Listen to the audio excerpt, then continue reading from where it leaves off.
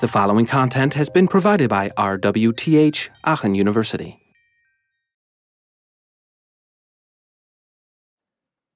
All right, folks, uh, welcome to Designing Interactive Systems 2. Uh, let's recap what we did last week real quick. Uh, what did we talk about last week? Anybody recall? Yeah, go ahead. Yeah, we talked about input devices and how we can classify them. Right, input devices, how to classify them.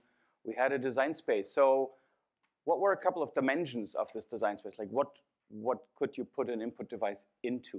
Like what were classifying criteria? What do you think? We had uh, positioning and uh, rotation. And Yes. So linear position change and, and rotational position change, yeah. And then we had uh, absolute rel- uh, rotation, and then absolute force and relative force. So Right. position and rotary. Exactly. So all of these basically are combining with each other um, to, to form a multi-dimensional space, which we were kind of like mashing down into a 2D table. But in reality, of course, it's, it's actually many dimensions. So rotational versus linear, position versus uh, force, and absolute versus relative. And then there was the resolution of each of those sensors as well um, to classify things. Right. Um, the design space was sort of um, a, a mathematical approach. And remember that if you have an actual input device uh, that, uh, that you, you look at, it's actually a combination of these points, right? Each point is an individual, you could call them effector, like, or, or like component of an input device, like a button or, or a scrolling sensor or a scroll wheel or something like that. Um, and uh, in order to combine these, we had different kinds of connections. Uh, how could you, there were like three different ways to connect these input device uh, pieces. Yeah. Uh, composition, Mhm. uh, layout, and views. I think. Uh, view, now, now that sounds a little bit like the model view controller. No. Um, yeah, so uh, we had we had layout for sure, merge, right? So layout, just putting stuff on the same box, right? Uh, merge when you actually cannot separate the two sensors, like the X and Y sensor in the mouse. And then the third one, connect, right? That was when you take the output of one uh, device and feed it into another stage of the input device. Uh, that almost always happens if you look at it when you when you connect the input device to the computer and it does more things to the to the input data. Um, and that uh, will actually be part of today's topic, like what happens with that data once it goes from the input device into uh, you know, the computer, the hardware, the drivers, the OS. What is happening to that data in order to make it useful for an application? The other thing we talked about was briefly uh, user interface programming paradigms. Um, if you had to explain to somebody who has only had like you know the, the basic education of like school programming, writing you know apps in like a single language maybe, writing down algorithms, like the stuff that we do, for example, in our introductory um, you know programming classes here at the at the university. Um, what would you tell them about like how they have to rethink the structure of their program when they are trying to write a GUI app, when they're trying to use a, a toolkit, an environment like you know Java Swing or Windows um, or Mac OS, in order to actually form, a, you know, to write an application that processes um, graphical user input events. What's what's different about the, the program structure from your average, know, run-of-the-mill piece of code? Uh, so you don't have your typical program structure. Um, I think you explained in a way that have like sort of a main loop, and then uh, all the functions are so-called event listening functions, and they listen uh, for event for an event to, to happen, and then they catch the event, and then Right. the corresponding handler is uh, executed, Right. and then the event is handled. So we have this, uh, you know, the, the, the key thing maybe to remember as a concept from what you said, that's correct, uh, is, is this callback idea, right? So that there are, there is a main loop that is essentially just trying to make sure that it catches all the events that are coming in from the user as quickly as possible and generates also, you know, some kind of response to that by calling the appropriate callback function. Um, but all the actual reaction to what's happening to the application while it is running is happening in these callbacks. And they are called, you know, at, at will basically, based on what kind of events are coming in and how these are mapped into callback functions. And we'll actually see that Windows systems and, and, um, and user interface toolkits that you use to write apps will usually have a way to map these events to these callback functions. You know, because standard example, you know, how do you quit an application? There could be a whole variety of different ways of doing that, completely different events, maybe a mouse event clicking on a closed box or something else, and uh, some keyboard shortcut, some menu selection, um, you know, selecting the quit uh, menu item. And all of those ultimately map to the same piece of code that, you know, properly shuts down your application. And that mapping is something that maybe even a, a user might want to, to mess with, right? So maybe the user wants to go in and actually change some of these keyboard shortcuts because he's used to always using, I don't know, Control X to quit his applications and, and now he's on a Mac and he needs to press Command Q and that's confusing the hell out of him. So he wants to have that changed. So if there is, a, you know, many systems offer a way to actually change that mapping from these events uh, that are coming into the functionality that is triggered by, um, by the event. So we'll see how that works um, starting today. Uh, I wanted to go back to uh, one more thing that's a quote from Stu Card, who did the design of input uh, devices. Um, and uh, we found this nice uh, citation. There's a, there's a wonderful book called Designing Interactions um, that Bill Moggridge wrote, in which he basically went out and interviewed all these people who, who built this, you know, these cool early user interfaces, many of them we've talked about in DIS1. Uh, I think I recommended this book as a Christmas present uh, to go onto your Christmas present list uh, for Christmas in DIS1. And one of the quotes here from Stu Card was that he said, like, you know, since he, he came up with this um, idea of, of, of, of mapping, uh, you know, trying to figure out how good is the mouse as an input device, right? And, and the design space of input devices was sort of one of the tools that he developed with his colleagues in order to measure that. And he said this is the, the great way how you know the science could work. It, uh, you do need good designers to do the design, but um, you know they could help structure the design space um, you know, to help people discover things more quickly that uh, understand their design options more quickly. Um, so the science didn't design the mouse, but it provided the constraints or the design space to do it. It's a nice way of thinking of it. Um, by the way, since you know it all ties together, uh, when Card was actually um, trying to understand um, the factors that make up good or bad pointing devices, he went back and used Fitts' law to understand that and to reason about these, these effects. So um, I recommend if you don't have that, you know, that book yet, uh, go online. Some of the chapters end up being online occasionally on the, on the book website. Uh, and uh, reading that uh, short article from Stu is an interesting read. Now today, and we already started looking at this very briefly last time at the end of the class, uh, we're going to take a look at this Windows system architecture. Um, what is it? Well, it is basically a reference model. So um, it's, it's a somewhat idealized layer model of how a complex window system works, right? Um, and uh, the actual systems that we will see, um, none of them, them, will be structured exactly like this and have the exact these layers in this exact same order, but oftentimes you can identify which part of the functionality was put into which layer, um, and how they called it, which ones they mashed together for certain reasons, efficiency or other, other things. Um, and we'll use this basically to understand the processing. The processing actually is always pretty much similar. So how does this work? Um, we have four layers that make up this, um, this uh, reference window system. Um, and uh, at the very bottom of our model um, you know, of these four layers is the graphics event library.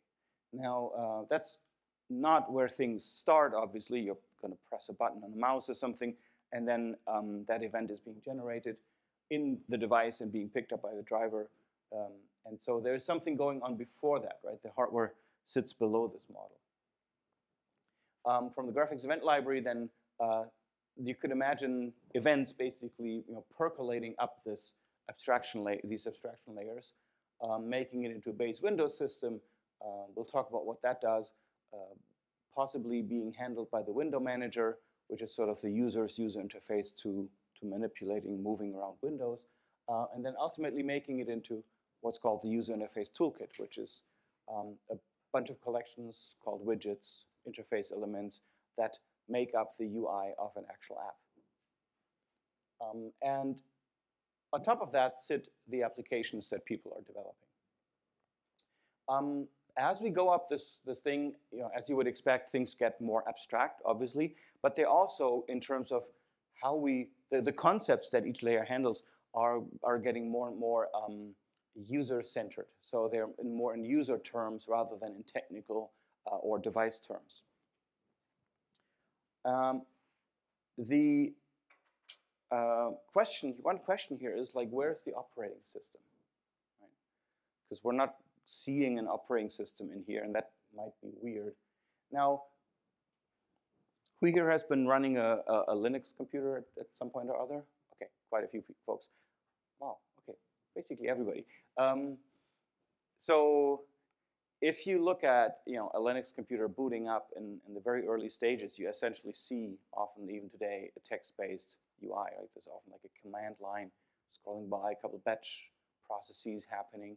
Uh, that's your OS at work. The graphical user interface hasn't you know, instantiated itself yet. Um, and that is also the, the static architecture of um, you know, Linux-based systems. You have a, a Linux kernel, a Unix-based kernel, um, that is essentially providing all the things that you've learned in operating system classes that you need for every operating system, you know, memory management and process management and, and you know, multi-threading and all those kinds of things, um, file management, etc. And then on top of that, there's oftentimes then uh, a layer that starts providing all the services and things that you need to have a graphical user interface. Because that's how these things originally developed, right? You had computers that were already able to do textual UIs, and then people started putting stuff on top. They said, I want to still use that old computer, that old OS, but I want to put something on top of it to create a GUI. Um, that's how you know, early versions of Windows worked. That's how you know, the X Window system that was running on, on Linux and Unix machines for the longest time uh, worked. The Mac, a little bit different because it was built from the ground up as being a, only a graphical user interface based operating system. But even there, you've got the same kind of layers of, of functionalities or packages of functionalities. Some things you don't need when you don't have a GUI, and other things um, you, you always have to have, right? So that created a, a layering. So anyway, what I'm trying to say here is the basic OS that we tend to think about usually um, with file management and, and you know, those kinds of low-level resources that are not necessary uh, only for graphical user interfaces tends to be somewhere in here. Right? So, for example, um, you know, a USB driver uh, would be connected, would be, you know, what takes care of, of you know, reading out a mouse that's being plugged in, um, and that's part of an operating system call, uh, operating system layer or framework, and that would then pass things on to higher level um, parts here of this actual Windows system. The other question that often comes up is, uh, where is the user in this picture? So I'd like you guys to take a, take a guess at where, if you had to paint in the user here, where would you put him or her?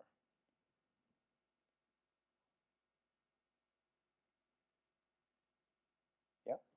Well, mainly um, at the app level. Okay. But it's also starting maybe at the Windows Manager already because uh, this has to do with like arranging multiple windows. Okay. All right. All right. So, so um, on the level of the app, why would you put the user there? Well, because the apps are like the main entry point for the user to interact with uh, like a graphical system. Yeah, yeah, yeah. Uh, and, and, and you're right, and you're also wrong. Uh, you're right, because that, that is actually the point of this whole structure, that as a user, conceptually, like in your head, you are interacting with you know, Angry Birds, right? You're interacting with an app. Um, so the the concepts that you have in your head as you you know, or you launch the whatever you know DB Navigator to figure out whether your train is delayed or not. So you are conceptually interacting with an application that's providing information to you, and you're reading it, and you're controlling it to get to the data you want. But at the same time, you're also doing something on another level. Can you see where else you are actually um, and it's not the window manager. I mean, you're right. We're also clicking on things to, so we're also conceptually interacting with the window manager because it provides us the services to move windows around. But we're also interacting at another level. Uh, yeah, right there. Also at the hardware level. Yeah, that's right. Um, so that's because while your brain is saying like, oh, I would really like to figure out whether my train is delayed, and it says like, let's launch the DB Navigator app, that then means that you know those sausages here go ahead and you know tap on your multi-touch screen or whatever, or move a mouse around on a desktop, uh, or type on a keyboard. So physically, you are providing hardware input um, at the hardware level, right? And also, then when the app is being controlled by that input uh, and gives you output back and says, uh, yeah, your train is you know, on time, you're good to go. That also happens via pixels on screen, which you know your eyes are perceiving. So again, it's at the hardware level. So we could say that we're actually physically, um, you know, by looking at things and, and, and touching or, or pressing buttons, moving mice around, or um, uh, maybe also hearing audio output, whatever it is that your system creates, or, or a haptic sensation that you know a buzzer creates on your on your wristwatch. All that is happening on a physical level with the hardware layer. At the same time, our brain is conceptually interacting with the app. And that is actually, um, I'm not sure, is that being still, is that still being taught in distributed systems classes, the ISO, OSI seven layer model? Yeah, yeah there's, a, there's a tired nod from a couple of folks. So remember how, uh, if you think about it, you know, you've got you know, those two towers, right, of, of, of, of, protocols sitting on top of each other, of abstraction layers. And the protocols actually go across on, at each level, right? So while Ethernet is busy talking at you know the, the physical level, um, you've got you know TCP/IP um, you know creating a, co a, communication at the higher level, and it's just like that here. You've got a tower of abstractions here, and of course, just like in the ISO model, um, these things are calling functions from the levels below, right? From the libraries and frameworks that are provided to them, and they create more apps. You know, things are being returned, and they they work with this. So when your app says I need a button, it asks the UI toolkit to give it a button, right, as part of its user interface. Or if it says I want to draw a circle, it will call you know, the UI toolkit to do that, and that will somehow go down all the way to the graphics event library, which will push that circle onto the screen. Um, so there's basically calls and returns happening, you know, in this direction.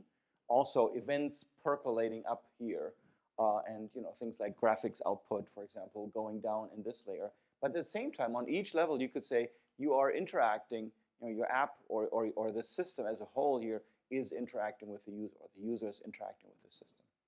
Now, it's, uh, it's an interesting comment that you made on the window manager because the window manager is responsible for decorating windows, putting close boxes, maximize buttons, that kind of thing onto window frames. Uh, and so we're also conceptually interacting with that window manager um, just in order to um, for example, move a window out of the way to, to make space for something else. All right, so um, let's then go in and, and talk about the graphics event library right away. Uh, so that's the lowest level of our model, right? So we're imagining, um, you know, but mouse button has been pressed. That's always my standard go-to example. Um, and you know, that event got picked up by USB, uh, got passed on into the computer uh, on a firmware driver level. Uh, and so the basic OS is sitting there now and saying like, oh my God, somebody pressed the mouse button. What should we do, right? So it, it needs to put that information somewhere. It needs to push that up the, uh, up the tree, so to say. So that's one half of what the graphics event library is doing. The event part, obviously. The other part, the graphics part, is responsible for fundamentally uh, rendering graphics primitives like you know, lines, circles, you name it. Um, so we basically have these two things. We've got device drivers. Um, you know, we call this thing GEL, right, for graphics event library. Um, we have device drivers providing this driver-specific data to them, saying like, oh, there's a USB device with the following, you know, um, uh, uh, format, and it sends me this weird data, uh, and I'm, I'm going to, you know, give that to you. That's what the graphics event library gets from the device driver. Um, and what the graphics event library does is, in this reference model, it's not very exciting. It basically just makes sure to make all these events that are coming in from different devices to at least look the same, to be in a canonical format. So rather than the mouse having a very specific you know, format for its events and the keyboard having something completely different, it turns all of these things into system events, input device events, and says, this is an input device event of type mouse, and it has you know, an x and y coordinate, and it has a, a button state of three buttons on the mouse or something like this. And then when a keyboard event comes in, it takes that and turns into, this is a system event of type keyboard, and has the following keys that have been pressed, etc. So, so that these things are basically in a, in a unified format. We need this unified format because we're going to be doing some sorting of these events on the next level up. And that only works if everything is in sort of the same uh, readable format. It then puts these events into event queues. Now, these are still event queues per device. You still have a mouse event queue, you still have a keyboard event queue, um, and maybe others. Maybe there's a light pen attached or something else. Um, and on a mobile device, those would be like you know the finger touches that are being that are happening. Those would go into event queues. Um, but they are all basically, and you've got the event queue, an event queue per device, but they're all in the same format, right? So now the events on all of these queues uh, are comparable, right? I can look at them and I can uh, mix and match them and, and, and start sorting them. Why are we doing this? Well, because we're, you know, the, the idea of these abstractions, and you know this as computer scientists, is always to hide uh, implementation details and, and specifics and to make things more um, universally usable, right, to, to make them more, more general. Um, on the other side here, we are getting requests for uh, drawing certain things. Um, let's say, you know, draw a circle.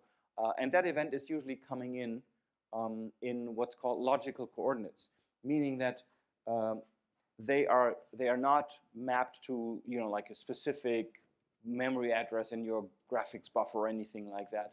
Uh, that is what basically the graphics event library takes care of. And today, I mean, this used to happen all basically on on the CPU. Um, today, you know, graphics cards are doing most of the heavy lifting on the on the drawing side. But conceptually, that's still what you know the role of this graphics event library is to turn these things into actual um, drawing commands or, or storage commands, if you like, output commands to go to the graphics hardware, whatever that hardware might look like. So that when I, you know, when, when an application draws a circle, it doesn't have to worry about maybe, for example, you know, what kind of memory structure the graphics memory has, or how many colors exactly can be used. It just asks for a certain color, and then there will be some kind of mapping to say, well, I can't give you that color exactly, but I can give you this, which is close enough. Or sometimes the resolution is actually also something that um, is being uh, abstracted away. Right? So uh, we'll talk about certain kinds of drawing formats uh, that basically mean that you can paint in mathematical coordinates. You don't need to worry about the pixel resolution and the system takes care of you uh, of that for you and maps it to actual uh, pixels. So that's the that's the you know downward facing stream of information. Think of this if you need an example. Always think of it as you know a simple drawing command like draw a circle or draw a line. Right? That's a that's a good uh, model. And and going up here, um, you know, think of a mouse button being pressed and what happens to that to that data. Okay, so um, now let's talk about those graphics models I was just um, starting to mention. Uh, this is maybe news to you, maybe not, probably not, but uh, I mean, we all know that if we boil it down to actually looking at the pixels on, uh, on, on our screens, whether it's a tablet or, or a laptop, or a smartphone, uh, ultimately you are drawing in individual discrete pixels, right? These are becoming really tiny, so you know you need a magnifying glass these days to see them, but that's still how the data is being stored and how the painting is happening, right? It's going into individual memory addresses that say, okay, what kind of RGB value do I need to put into this memory address um, in order to paint that pixel, you know, bright orange or something. And um, many systems, all the historical ones, uh, and also many current ones that just don't have the computational power to do otherwise, still work completely on that pixel model. What do I mean by this? Um, take a very, you know, imagine a very early, you know, simple computer, just black and white screen, right? No, no color, nothing fancy, not even grayscale. So it's just, you know, a pixel can be black or can be white. Like, you know, remember the, the Alto or the Star, right, from the, from the 70s, 80s? Uh, so where, back then, the, the great idea was to say, wow, let's just put lots of memory, you know, and dedicate it to this, this pixel buffer, basically, and let the applications paint in this however they want. That was the idea of how you could create a graphical user interface. But it meant that there was memory addresses or memory locations uh, for each pixel on the screen. And then that's, you know, each of those, if it's just a black and white screen, just takes a single bit, right? So eight bits, one byte would be your first eight pixels on the screen. Very, very simply speaking. Now what that means, however, is that if you wanted to draw uh, something that was, I don't know, like, you know, four centimeters high, you would have to know not just the physical size of the screen, but also the resolution of the screen. Know, only then you could actually say, okay, how many pixels do I need to actually fill in to make a line that's four centimeters high? The only thing you could actually do in your app was to say, I'm going to draw a line that's 20 pixels high. Right? And who knows how long that is. It will depend on how big the monitor is that the person happens to be using, but it'll also depend on how high the screen resolution is of that monitor and that graphics card that is connected at this point. So that's a bit tedious. But given the fact that it's a bit tedious, it's amazing how long that system survived.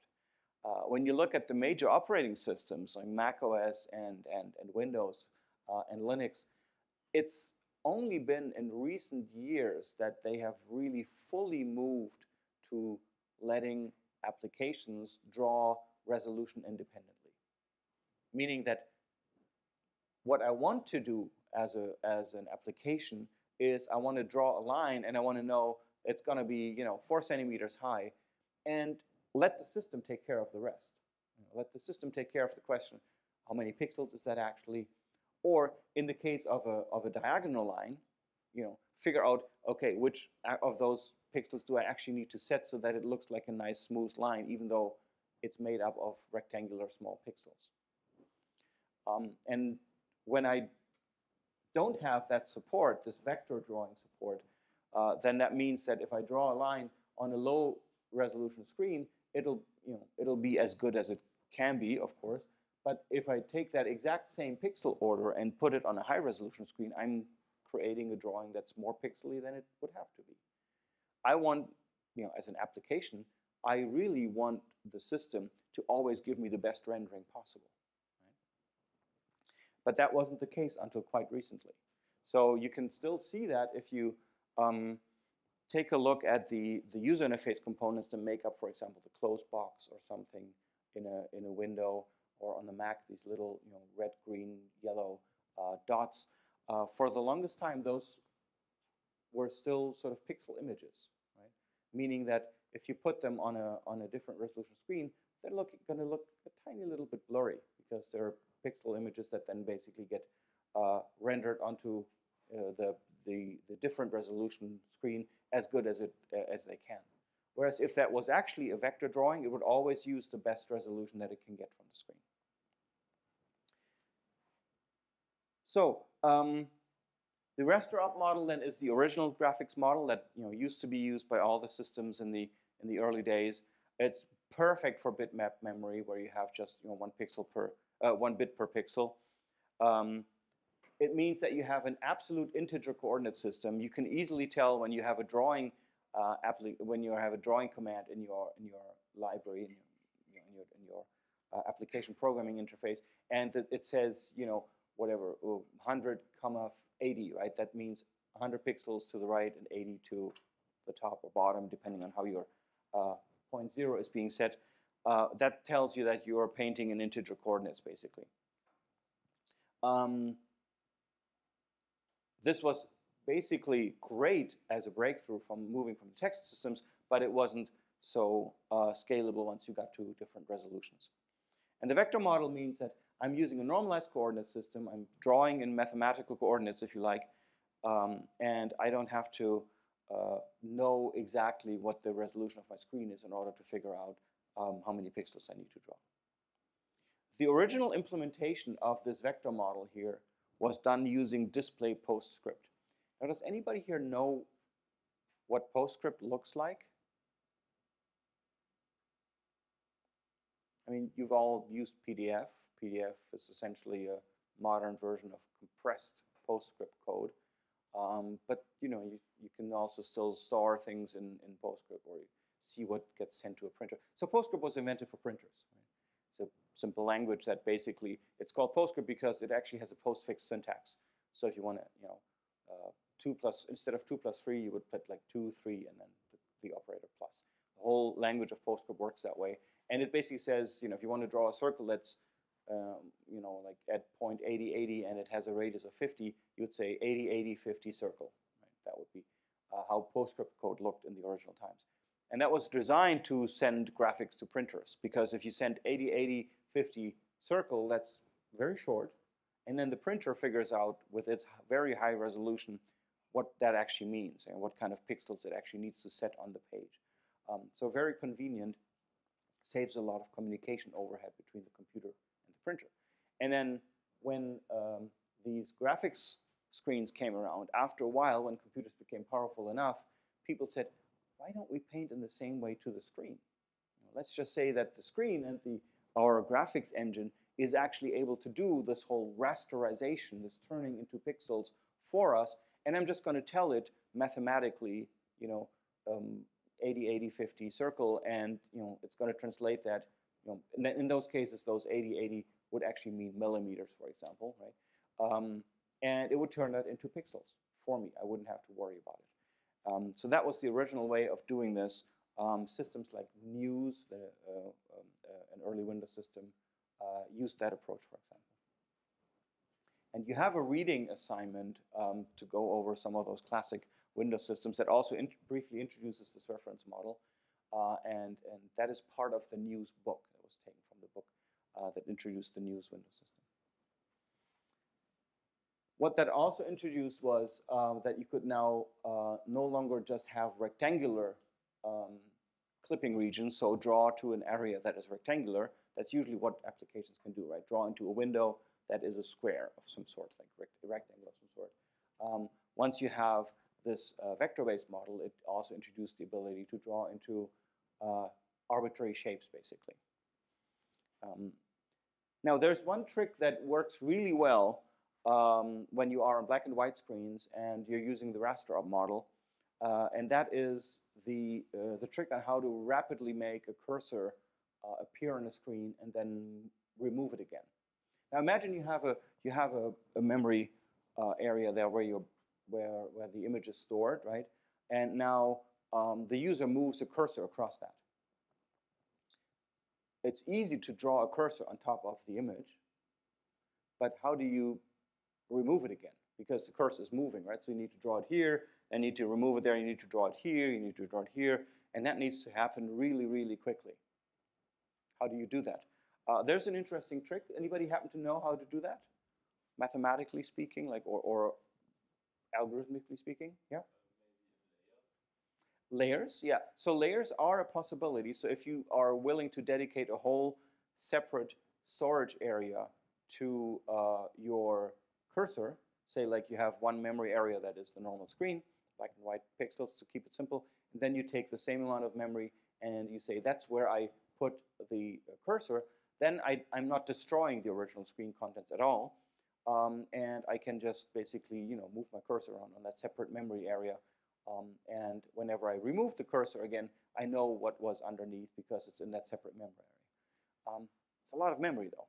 Uh, in, well, not today, right? But back then it was. So, uh, and, and even today, you know, if I put you down in front of an embedded system, you know, that runs on, I don't know, like some kind of Atmel, uh, you know, microcontroller, and then all of a sudden you're down to like, oh, two kilobytes of RAM. That's not a lot, right? Uh, so even today, these kinds of issues come up, and we often see graphical user interfaces, you know, very simple ones, um, on these embedded systems. I mean, your washing machine probably has a graphical user interface. Um, and these things are heavily constrained in their resources. So the same tricks are being used again to run these kinds of systems. Now, um, so what could you do instead, instead of having a separate layer? Any idea? All right, so make yourselves ready for the XOR trick. Ta-da! It's very simple. So let's assume we have a, uh, a screen. This is a zoomed in area of a screen, right, where we have an area that is black and this area is white. And now you want to paint a uh, cursor on top of that, like a mouse cursor, right? Um, how do you do that? So you have to imagine this is, you know, this cursor consists of lots of pixels, obviously, here. Uh, so what we can do is we can simply say, wherever we want to place this cursor, we're going to assume if the cursor is a black shape, so it has all its pixels set, we're going to take that and we're going to use an XOR operation, exclusive OR, um, with the pixels on the screen. That is exactly what creates this inversion. Right? Because if the screen pixel is black and the cursor pixel is also black, and you use an XOR, uh, it leads to white, right? Because XOR means it's one if the two values are different, right? That's a simple way of remembering XOR. Um, conversely, if the screen pixel was white and the cursor pixel is black, then it will turn black, right? So you can see each pixel where the cursor is now touching or overlaying the screen gets inverted. That's where we, how we get this look, right? So we painted a black uh, mouse cursor onto the screen with an XOR operation, with an XOR combination with the background. Uh, and that has an advantage. It means that whether it's in front of a black or a white background, I can always see it. Advantage number one. Advantage number two is if I want to make this go away again and restore the original contents, it's actually still there. I just need to run another XOR operation on this content, right? Because this is now my inverted area. So if I take that and again apply the same XOR operation, pixel by pixel, uh, where my cursor is, so I basically draw the cursor again with the same XOR operation on the same location. What happens is that this white-black, uh, this white and this black pixel here, by being XORed again with my cursor pixels, turn into the original black and white ones. So they get inverted again, and surprise, surprise, it's the same as the original. So that's a very neat trick to quickly draw something onto a black and white screen uh, without having to actually have any memory buffer like you know the separate layer or anything like that uh, because the information doesn't actually get destroyed. It's recoverable. Um, doesn't work so well with grayscale or let alone graphics, uh, you know, color screens, right? So there, unfortunately, this, this idea starts breaking down a little, but oftentimes you end up with, you know, simple LCD displays even today in, in embedded systems where you can do that kind of thing. And you may often see, like, you know, for example, text cursors often are done the same way. They just invert uh, what's behind them uh, while they're blinking away. So um, for each of the layers, the graphics event library and the others, we're going to talk about some of the objects that are part of this layer, and we're going to talk about some of the, um, uh, which, okay, uh, and we're going to talk about some of the, the, the, the, functionalities that these layers provide, right? So on a graphics library object, what, uh, what a graphics library often provides as, as a, um, a data type or a, an object that you can create and, and work with is a pixel buffer. Pixel buffers are memory areas in which you have a coordinate system and a mapping of uh, which memory part belongs to which pixel. Uh, there are a variety of um, different ways of storing this, in, in, in, especially when you have color screens. I mean, with black and white, it's pretty obvious. You just put pixels next to each other um, because one pixel is one, um, uh, one bit, and so it's easy to, to store that way. With grayscale, you have to, you usually end up using maybe a byte per, you know, if, you, if you're good with 256 grayscale values, But with the color, it gets a little bit more interesting because you definitely need a couple of different bytes to store color. So here's the uh, uh, so-called Z format in which I take the uh, topmost pixel and its red value goes into one area uh, that might take up one byte in this memory area. And then later on there is a, a, separate memory area which stores the green values. And then there, later on there is a separate one that stores the blue values. Um, this might look weird, uh, but it actually has certain advantages. The, um, if, you, if you store things in, in the uh, Z format, it means that uh, a pix easy pic each pixel has consecutive bytes. Right? So I'm basically keeping the bytes for each pixel together. Whereas here, I'm storing all the red values first, and then later on comes a separate memory area where the green stuff is, and then later on comes one where the blue one is. Whereas here, I'm saying, let me have the red and green and blue in one place, and then we get to the next pixel and I store the red and green and blue ones again. The drawing is maybe a little uh, uh, sub-ideal. Um, it's kind of hard to visualize what, we're, what we mean here with this. Now, each of these has one advantage and one disadvantage. If you store things in the consecutive bytes per pixel, the Z format here, um, then it's really easy to access all the data for one pixel. So if I need to change one pixel, uh, the data is in one place, right? I don't need to jump around various memory locations. I can find it very easily.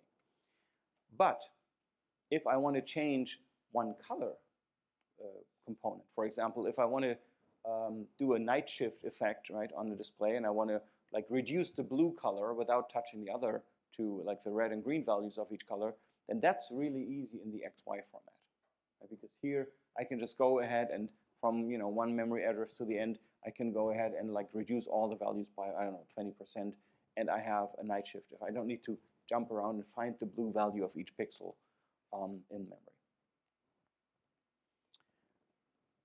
So pixel buffers are a typical thing you will see when you know when you go ahead and you actually need to work on that low level you don't often have to work at that low level, but sometimes you do to create, for example, really elementary drawings like circles and lines, uh, or like little icons that need to be rendered or something, then you will find a pixel buffer typically uh, as some sort of object that this API provides you at that level. Um, what the graphics library also provides is typically uh, objects to, to draw, right?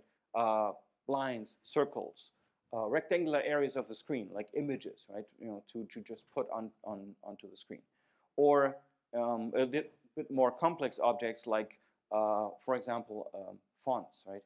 If you look at fonts, um, they can be done again in two ways, right? If you do uh, have a pixel-based system, so a RasterOp system that doesn't have uh, any concept of, of vector image art, um, then pixel, you know, each each font, each letter in each font will literally be a pixel pattern in memory.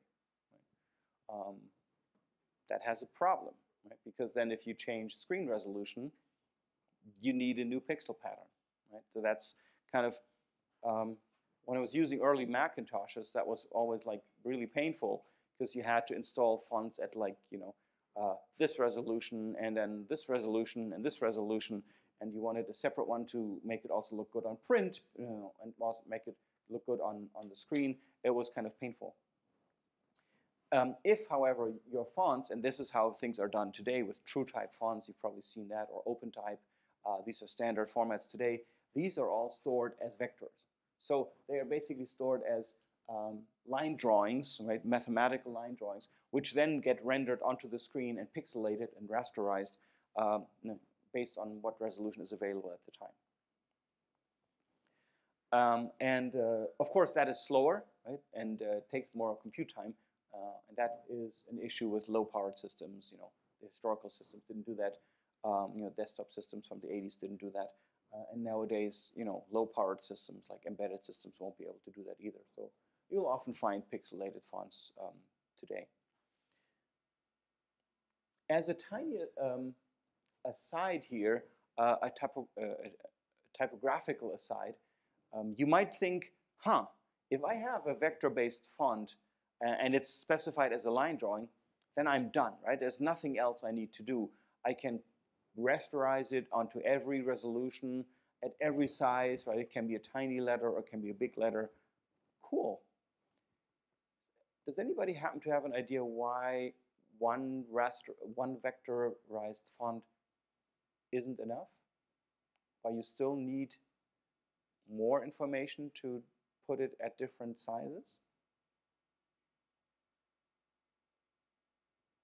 It's a weird psychological effect, actually. Uh, when you uh, when you take a um, a letter, like the letter H, for example, and you draw it at very uh, small size. So for your eye, it's really small.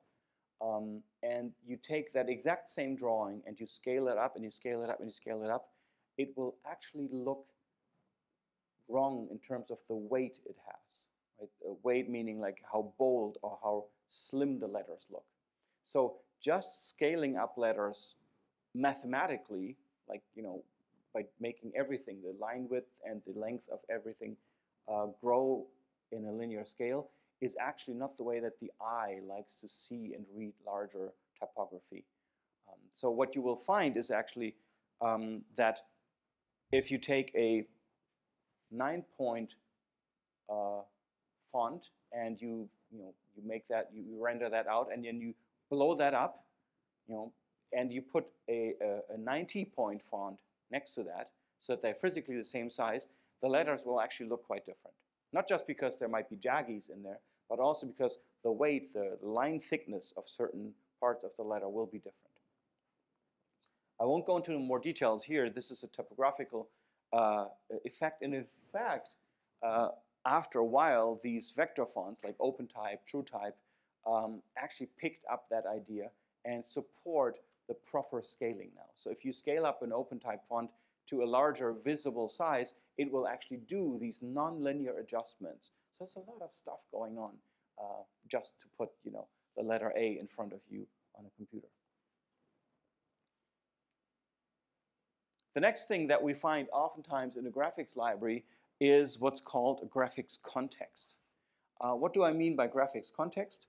Well, it's essentially a, uh, an object, a state, if you want, of the virtual graphics processor. The goal of that is to reduce the amount of uh, parameters that we need to send each time we draw something.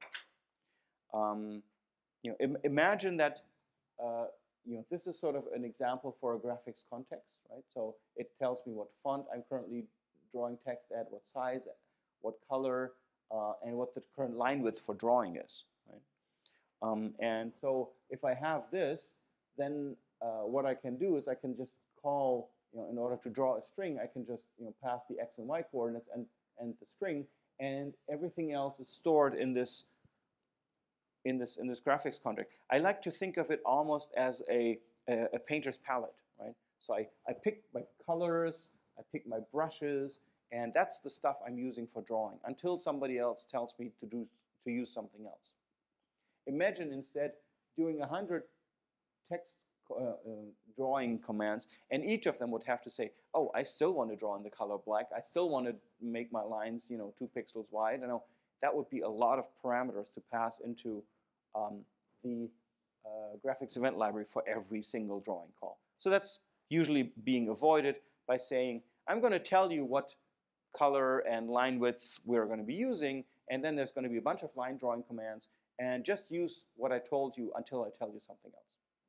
Reduces the amount of stuff that goes across the API. There's finally, for the graphics library, um, three different modes of drawing. Uh, and these can get you when you're writing applications. So uh, let's, let's tease them apart. The first mode of drawing is the one where um, basically the, you know, the window system, uh, the person that implemented the window system was the laziest. They simply said, yeah, you want to draw to the mem to memory, to go ahead. But if you know, I'm not going to remember any of what you're doing except I'm going to put it on the screen, right? So it goes into screen memory if you draw something, uh, but if somebody uh, then replaces something or draws something else, then I'm not going to remember that. Um, that is okay, but it means that you as an application are responsible for remembering what was being drawn. For example, if you know this area then gets covered later on by a window that pops up and gets revealed again, you know, nobody will know what was there. So you will have to redraw the contents. Oftentimes, this is done by the app having its own uh, back, you know, buffer basically, where it draws everything, and then it copies that stuff over to the uh, to the virtual to the actual display memory. So the application is doing a, keeping a backup copy of everything to be able to fill everything in anytime the operating system says, "Oh, I lost part of the screen here. Can you tell me what what needs to go there?" The other way to do this is uh, that the graphics library actually provides some sort of backup. And one way to do that is that the graphics library may remember the commands that were sent to it to draw stuff. Imagine the graphics library every time uh, the application tells it to set the fill color to green, to fill a, a, certain path that's being passed as a data structure, to set the color to orange, and to fill the, this other path of the deer. Um, so every time one of those commands comes in, the graphics library could do that and you know, write a little logbook entry, right? Say like, that's what I did, that's what I did. So then if this content gets destroyed, it could go back and say, I'm just going to rerun this com these commands again that I wrote down in my logbook. That is command buffer drawing. means that the application no longer has to worry about keeping track of all these things um, because the graphics event library can restore display contents whenever it's necessary. The other way to do this, and that's what you see more frequently, is data buffer drawing, meaning that um, when the application has drawn some, uh, draws something into the graphics event library, um, the graphics event library puts it on the screen, but also keeps its own backup. Right? So that when later it needs to restore anything because the screen got destroyed by something else, then it will be able to do that uh, restoration on this level. So uh, basically data buffer drawing is something where you draw at the same time into the actual window where you're rendering and in parallel into backup in memory. Um, that of course costs more memory, uh, but it's very simple to implement. Right? You just basically do the, do the operations twice. Now, um, damage repair can be done by also various players, right? So imagine you actually um, have uh, an application that draws something on the, uh, on the screen, uh, like this blue square here. Uh, it could be a window, right, drawn by maybe one application.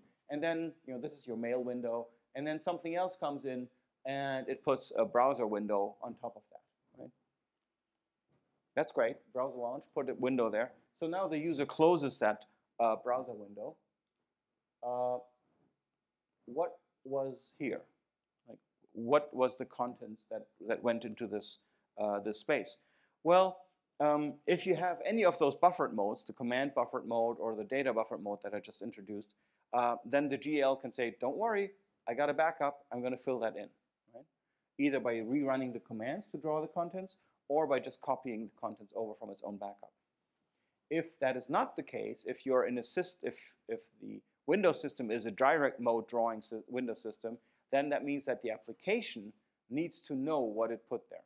So if this is you know, the mail application, uh, then in this case, the window system would say, Dear mail application, I'm sorry, I lost sort of a quarter of the window content that, that I was displaying for you.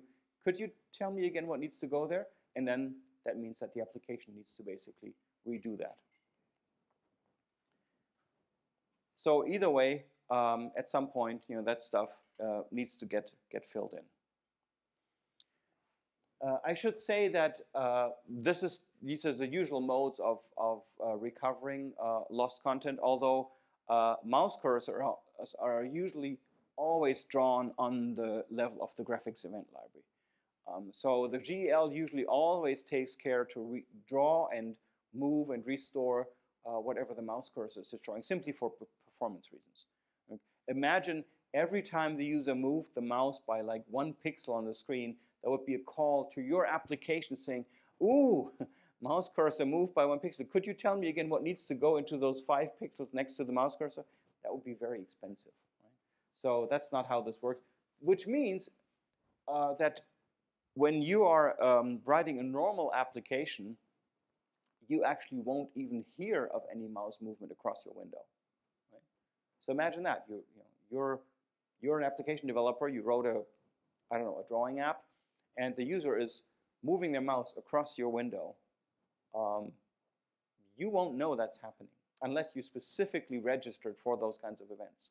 Usually you will only hear from uh, the window system once the user clicks somewhere, right? As long as they're just moving the mouse, even though it's constantly destroying your content, all that is being taken care of by the system for you. So you, as an application developer, don't need to worry about those kinds of um, image uh, destructions. So um, you know that's why you know this kind of stuff uh, doesn't happen because the GEL uh, fills that back in, takes care of it. So is this um, when do we do the? Uh, we have a slide announcing that. Even better. So okay. Yes, go ahead.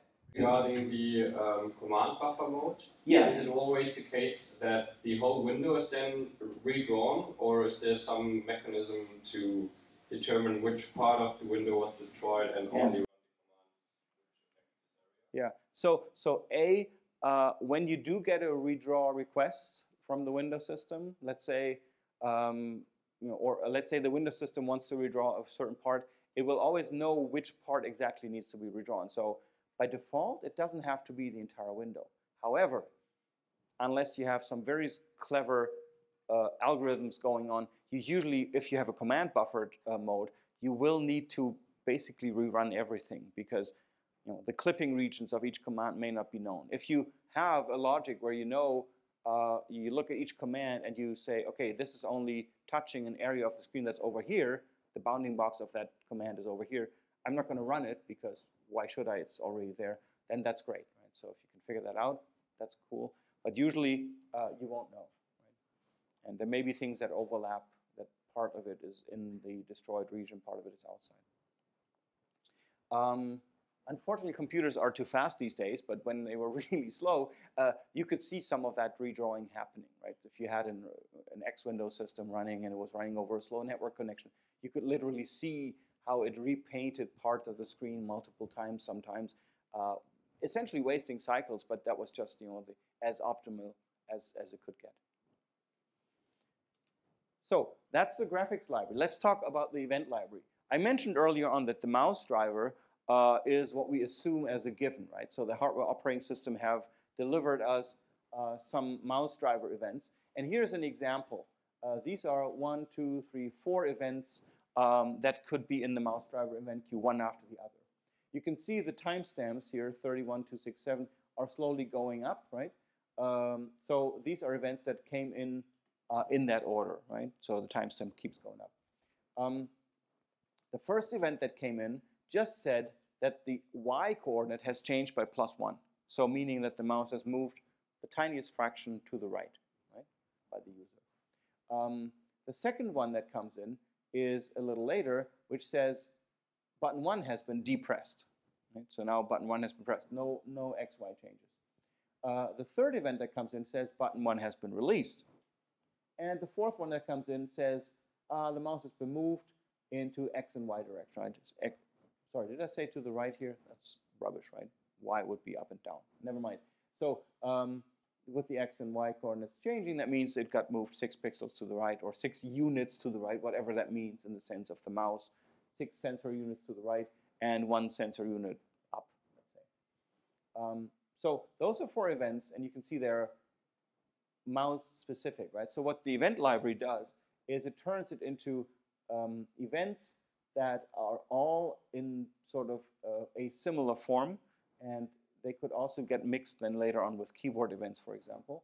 Um, and they would have names, right? So these events would be called, for example, this is a movement event, uh, and there might be some kind of uh, mapping or scaling going on that says, what does it mean when the mouse moves one sensor value to the right? Because, for example, the mouse will have a certain DPI resolution, right? And if I get that DPI resolution by talking to the mouse via USB, then I know how much I should actually basically turn that movement into to make the mouse move on screen, the cursor. Um, here's a mouse down event, a mouse up event, and another movement event, right? So you can see uh, these are then in formats uh, that we call canonical event, uh, uh a canonical event format. Let's take another look at, uh, you know, that's just a zoom in on this data to you know, let you guys read this properly. Um, you got good eyes, right? You figured that out. So here's the, the here's the canonical event queues um, for this. Um, the one, the mouse queue that we just talked about, like you know, movement happening, mouse down, mouse up, more movement happening, and there would be more like this, right? So there would be a keyboard queue um, that was also delivering its own kind of specific event format that was also turned into this same standard event format that we marked with this blue event label here that said, oh, the key I got pressed and uh, one got pressed and one got released and zero got pressed and stuff like this is happening. Sorry, I got released. So this is basically somebody in the middle of typing I-10, right? What a, what a coincidence. Um, and here's the trackpad queue, right? That could be another one um, that is different from the mouse queue, has originally its own kind of you know driver data, but it got canonicalized, standardized basically into events that are called touch start and, and touch end uh, events. Now we get to the mouse event demo. Um, so uh, you'll be plugging in, right? And the idea of what we're doing here is uh, this all sounded very abstract and, and historical. I'm going to freeze maybe, although doesn't need to. You can just you can just plug in. Um, and we, we just wanted to show you that actually, you know, modern Windows systems uh, work exactly like that to this day. So uh, what we have is a little demo uh, that Ollie is going to run uh, that shows you how um, you can basically write a bit of C code um, and that C code posts an event into the queue. Because events usually come from devices, right? Drivers uh, deliver them, but the, there's also a way programmatically to inject events into the system. And that's needed for a variety of reasons. Um, for example, if you write an accessibility mode where people can move the mouse by pressing the key, uh, keyboard, right? Because they can't use the mouse, uh, then you need to programmatically make the mouse go to certain places. And we're going to use that kind of function. Uh, and sure enough, you know, we are down into in the depths of C programming. This is not you know, this is not Swift, this is not Objective-C, this is not even C++, it's plain old C. Um, and on that level, uh, you know, there are functions that uh, are provided. I think it's Core Graphics, right? Yeah, Core Graphics API. That is basically, you know, the stuff that takes care of the graphics event library things in Mac OS today. Um, so I'll let you, uh, I'll let you uh, do that part. And do you need this? Yeah. Okay, so yeah, as Professor Borchers just mentioned, uh, you have learned everything about uh, the reference model in theory, you have seen the concept, and we wanted to show you that this model is actually applied in current OSs. So we take the example of macOS, and when you want to do this, um, the library you have to look at for the graphics and event library um, is the core graphics library. So as you already see here in the documentation, it makes it very obvious the core graphics library is a library for lightweight to do 2D rendering. And also when you just go to the overview and uh, have a further look here in this paragraph, you see that for macOS, um, that this framework, the core graphics framework, is also responsible for the user input events. And there then you find everything you have seen in this lecture until now. So when we look at some, uh, yeah, have a deeper look into the library, we quickly find, uh, for example, here the CG context. Uh, CG stands here for core graphics, but this is more or less what you have learned about the, um, the context object of the uh, GEL. And there you also see when I scroll a bit down that you can set uh, stroke paths, that you can, when I find it, some alpha values and so on before in the, uh, in the CG context to draw your path-based drawings. And on the other hand, on the input level, um, we use the Quartz event services where you have all about yeah, creating inputs. Uh, in our case, we will see a demo later where I will create mouse inputs using that. And yes, so the GL exists, and if it's about macOS, you will find it in the core graphics uh, framework. Yeah, and to demonstrate that we can directly access this uh, layer and it's not hidden somewhere uh, or something like this, we will show you some code. Um, and this code is here. And um, yeah, what we more or less do is, yeah, we simply move our mouse cursor without me doing anything. So let's show you what this code is doing. So this is a very short uh, C terminal application. And when I click on play, you see my mouse cursor moved, and whatever I do, the mouse cursor is always jumping back to this corner. And also when I try to do something else, you see I directly inject those mouse events uh, to this layer. And so now I can't do anything for the next 30 seconds. Um, now, okay. Um, and yeah, the code for this is very easy. I can also provide this to you in Moodle if you like to. Um, what we do is we simply import the core graphics library here. Then we have here the, the standard C main function um, and in a loop such that this demo takes at least some seconds, uh, here 20 seconds, uh, we create a point create here with the core graphics uh, framework a mouse event, um, which gets some parameters which are not that important here. So here where the input originates from, here the, we declare that it is a mouse moved uh, operation we want to do, the destination we have created before, and also one parameter we can ignore, which is the button we have used, which is just there because it has to be for mouse movement. We don't need any button uh, presses um, this is ignored in the call. And yeah, and then we just post it to the layers, uh, to, to, this layer, and uh, then the Windows system is doing everything by its own. Um, yeah, and of course we are sleeping for one second such that, again, this takes some time and you can observe the effect. Yeah, and uh, that's already it. So uh, I, I, hope the the demo illustrated that uh, we're not talking about you know, made up concepts here. I, I always like to ground these things in, in actual you know current current tech as well. And uh, I think this is a great example of how you can go in and, and find exactly those calls we're talking about. Find the data structures we talked about, like you know an event or um, the fact that there is a, a graphics context. Um, and you know when you browse through the API know, knowing this concept of a graphics context in general will help you, you know, find your way around these APIs more quickly when you encounter a new platform as well. You know, oh, okay, this is the conceptually this is the graphics context we're talking about here, even if the name is different. Yeah, go ahead, Andy. Uh, I have a question. So sometimes in, in, programs we have like shortcuts on the keyboard which require like several button presses to happen simultaneously. Yeah but all these buffers are in a serial fashion. Mm-hmm. Um, is there like a threshold of time in most systems, like standard time, to figure out if button presses are simultaneously? Because, like yeah. for example, if I do Command C, Command V to copy and paste, yeah. it would be like uh, Command pressed, maybe, and then uh, C press? yeah, yeah. Uh, so uh, two answers to that. First of all, if you're just talking about things like um, uh, keyboard combinations, like keyboard shortcuts, like Command C, for example, or Control C for the Windows fans here, um, then that's an easy one. Because what happens is you basically, uh, the, the trick is that an operating system will clearly distinguish between depressing a key and releasing a key.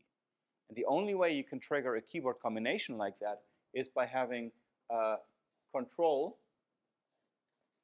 pressed, like depressed, held down, then have an event where you, for example, press the X key down, right? And then you've basically got the combination of both of them happening at the same time. Uh, and at that point, then, you know, letting X go again and letting the control key go again. So if that order is being observed, then I know that you've done this. And uh, you can try this out yourself. What, what, happens if you press Control then press X, and before letting go of X, letting go of control. I don't know. It's, it's a question. It's a design question. Like, what did the designers of the system decide that should mean? So the semantics of, of pressing and depressing are very subtle uh, if you come to keyboard combinations. Uh, but this is how you can catch these. So these are easy. We don't need timeouts for those, right? Because there's no, you can hold down control and, you know, have your lunch and then press X. It's still going to be, you know, it's still going to be a keyboard combo. Now, the other answer to your question is really interesting and it's really tricky too, because um, let's think about the uh, mouse double click. Like, what's a double click? A double click is actually two individual clicks happening. So we've got a uh, button one, let's say, down and a button one up. And then we have another button one down and button one up, right? After that. And the question is, when should this be treated as a double click and when is this just two single clicks? And in fact, that's, again, it's a design parameter inside the OS, inside the Windows system, that makes that decision. So what's happening is that typically, when this first click comes in, it's being treated as a click. But if a second click happens shortly after that, then that second click isn't reported as another second click, another single click, but instead is removed from the event queue and instead injected is a double click event so that the application then knows, oh, I had a double click happening. Now, whether you also first react to the single click or not, again, is a design decision. If you don't do that, then that would mean that every single click I do would be ignored for a fraction of a second until the timeout for the double click has expired, and only then the application would react. It's a possible design, but it would introduce a delay that, you know, thinking about Bloch's law and all that kind of good stuff and the CMN model would probably be problematic. So typically, and again, you can try this out with your system. If you do a single click, it will probably immediately trigger. And if you do a double click, then you know you basically get a single click and a double click in, in sequence. Plus, interestingly, in classic macOS at least, I don't think you can do it today, but in classic macOS, you were actually able to tune this. Well, in fact, I think you still can. You can still set the double click interval, right? Because if you're a, you know, a young hyperactive kid, then you probably need like, you know, five milliseconds between this, right? Because you're going to be like click, click, click, click, click, click, click. And all of those should be single clicks, right? But if you're, you know, a, uh, a little more sedate person or you've had a long party, then you might want like, you know, 500 milliseconds time to do a double click, right? Um, and so you can actually set that interval that says like when should I consider the second click to be not a second individual one, but actually be interpreted as part of that double click event happening. So and that gets removed uh, from the upcoming queue, you know, gets silently discarded, and instead the system injects a double click event at that point. So um, interesting, uh, complex answers to a simple question. Uh, good one. yeah.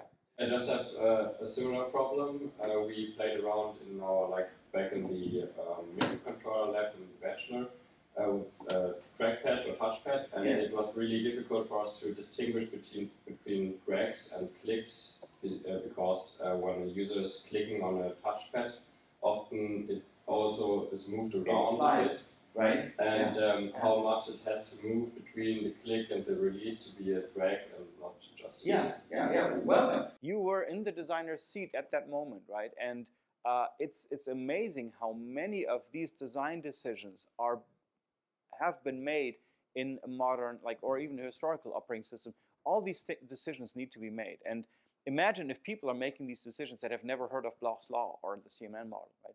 And that you know, did happen for quite a lot of times. And then you get to systems that just feel clunky or like, you know, hard to use. People always had this, like in early versions of Windows, the mouse, if you compare it to how the Mac mouse moved, it was something was off. It felt kind of like, eh, kind of like clunky. And it had to do with basically, you know, the, the, the intervals and the frequency at which it was being tracked and updated. Uh, just a little bit more smoothness made all the difference to, to the end user um, in terms of how responsive it felt. So yeah, it's that's why we teach DIS1 before we do DIS2, right? Because all these things need to be in the back of your head so that you make the right complex technical decisions here that are informed by what you know about how humans work, you know, from DIS1. Um, okay. So let's look. Let's wrap up with the the GEL. So the GEL uh, has there's one more question uh, that is, how much can I mess with the graphics event library? Um, and uh, in most systems, uh, the graphics event library you can use it. So so not accessible to the application well, it was maybe a bit misleading. You can use it. I mean, you can. We just did right. We called functions out of the graphics event library, no problem. But what you cannot do in most modern systems is actually change it. Uh, in the sense that, um, let's say I wanted to add a function to the graphics event library to draw, to draw you know, five-pointed stars. Because I'm a big fan of five-pointed stars and all my user interfaces are going to use them all over the place. And I don't want to go and every time draw, you know, all these lines. Not even in a routine that I write. I don't want all these calls to go across the GL, um, you know, API all the time. I want the GL to know what a five-pointed star is, uh, and when I say draw a five-pointed star, it should just do it, right? Just like it can draw a circle or, or, or a box. Um, how would I do that? Well, in most modern systems, you can't. You don't have access to doing that. But uh, there are some systems that let you do that. Um, for example, if you look at X11, um, the, the, the X Windows system, it's out in source code. So anybody running Linux with X11 on it, you can go in and you can change your source code uh, and you can extend your graphics event library that's part of the X11 Windows system um, and make it be able to draw stars. The problem with that is now your X11 is incompatible with everybody else's X11, right? So nobody else could actually use that un unless they recompiled their own X11 installation completely, which is a little bit impractical, right? It's okay for playing around, testing, research prototypes and stuff, but not for large-scale deployment. Now, uh, there are also some systems historically that actually took another approach.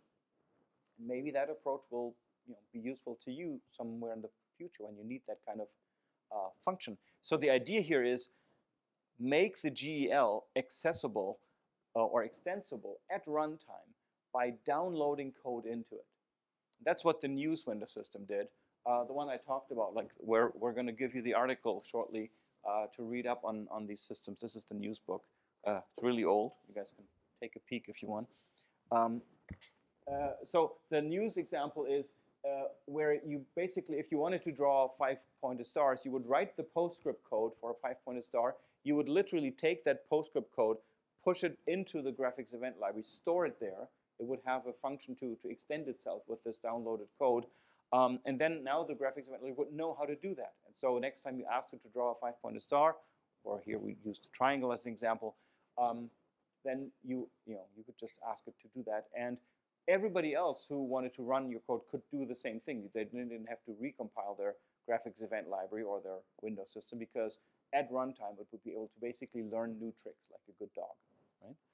Um, another example where you might want to use this is if you, let's say you have a black and white display, like a simple LCD display maybe, and you want to use patterns, right, to, to, to show grayscale uh, values.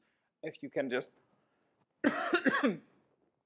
um, um, push a grayscale pattern down into the memory of the uh, of the GL. Um, okay, so that's the GL. So now we're going to move to the next level, um, the base window system. In summary, you could say the GL basically hides aspects of the hardware and the OS already, right? It, it, it covers these things. Um, it offers a virtual graphics machine, you could say. It's like a, um, like a drawing engine that you can talk to at a certain level um, without having to know exactly how the hardware of the graphics engine works that's beneath it. It's often implemented um, from, a, from a programming standpoint as in the same address space as the base Windows system. So these two are often mashed together. Um, what does it mean to be in the same address space? Well, you can just call each other with function calls, right? You don't need to do inter-process communication or anything like that. Um, you're just um, calling routines inside the same address space. Um, you will also find that many of the objects we talked about, like the canvas, for example, uh, will actually come back to us. We will see them again, like the, you know, the pixel buffer we saw on the graphics event library level will come back to us as a canvas on the next level. Um, so upper or higher level um, parts of the, of the Windows system architecture often have similar concepts, but they are more abstract, right? They have more features. Um, so let's look at the base Windows system next. The base Windows system is the core of uh, the Windows system. It's uh, the thing that processes, or that provides all the uh, data structures and resources and operations uh, that you need Windows system-wide. Um, it also manages any resources that are shared to both to save resources, but also to ensure consistency, like fonts, for example. Um, the base Windows system has a um, basically provides logical canvases. So uh, Windows on this level are canvases that you that basically include the on-screen stuff. So if you have to, uh, if an application wants to render anything on the screen, it kind of needs to put that into a base window system window. And we'll talk about what this, what this thing is. Um, in, in a very general sense, a single window system could have many terminals, like many, many, um, let's say, screens and, and keyboards and mice attached to it. It could run many, many applications. I mean, your Windows system on your laptop runs many applications, of course. Uh, and each of these applications has lots of objects, right? Windows fonts.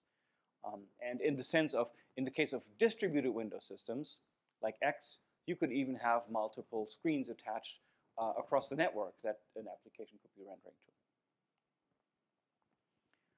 Now, when I say um, window here on the level of the base Windows system, um, I know that in your head you're seeing little windows that have decoration and they've got close boxes or maximize buttons and, and frames and stuff that's not what we're talking about here yet, right? Uh, the buttons that you're imagining are windows, document windows, for example, that you generate using the highest level of the Windows system, like the UITK, the User Interface Toolkit. So if your app asks for a window to, um, you know, to display a document in, then that's what you'll get. That's what you have in mind right now. On this level where we are, we're two levels down on the base window system, a window is literally just a rectangular canvas on screen or off screen that you can draw into. Nothing more. It's just a space on screen. Not decorated, no frame around it, no buttons on it, nothing. So um, here's what the base window system looks like in our, in our hierarchy. Um, in the uh, direction going up, we've got our events coming in from the graphics event library.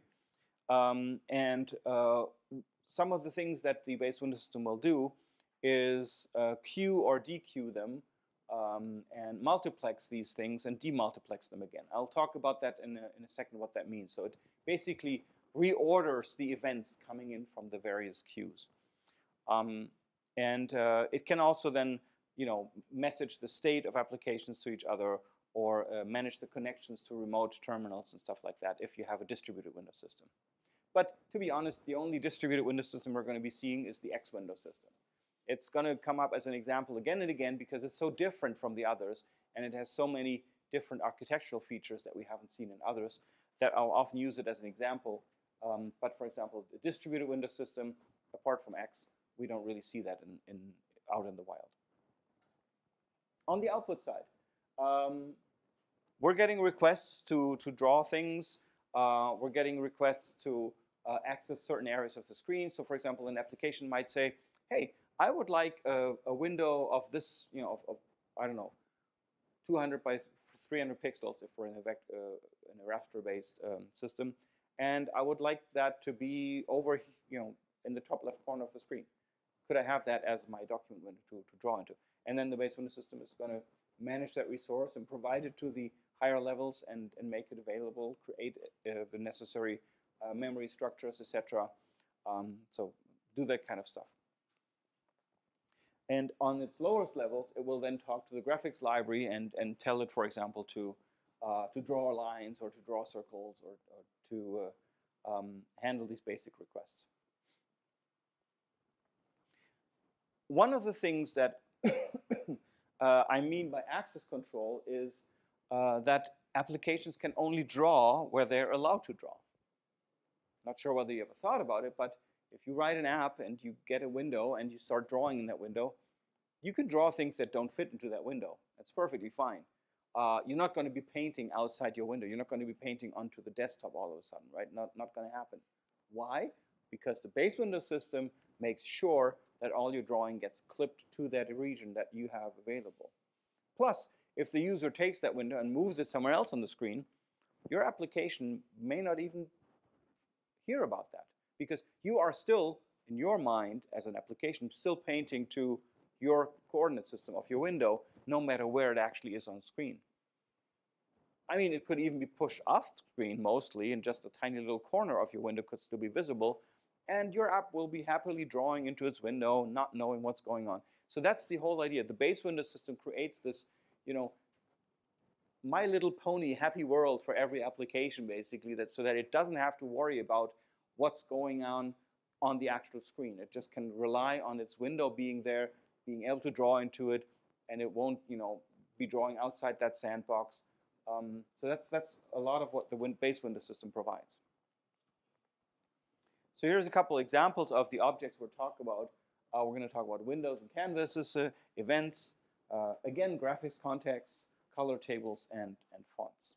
Real quick, uh, window and canvas, what I mean by this is um, a canvas is basically just uh, an area off screen that doesn't currently have a visual representation on the screen. And so a window always needs one of those canvases uh, as well.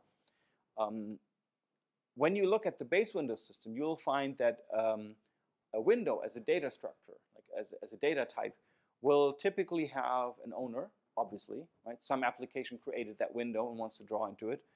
But there could be other applications also drawing into it. How is that possible? Well, take the, uh, the taskbar on Windows, for example. Right? The taskbar on Windows is this rectangular area, um, and somebody is owning that. Probably, you know, the, uh, the desktop application running that, that creates the, that taskbar to start with. But then other applications can put icons into the taskbar, right? So they need to be able to access the taskbar and paint into an area that technically doesn't belong to them. They're just allowed to use it. Similarly with the menu bar in, in macOS. Right? So sometimes these things are shared between multiple users. Um, every window will have an X, Y, and a, uh, and a size. Um, so the origin is the X, Y. The size is given in, in, in typically either logical coordinates or pixel coordinates.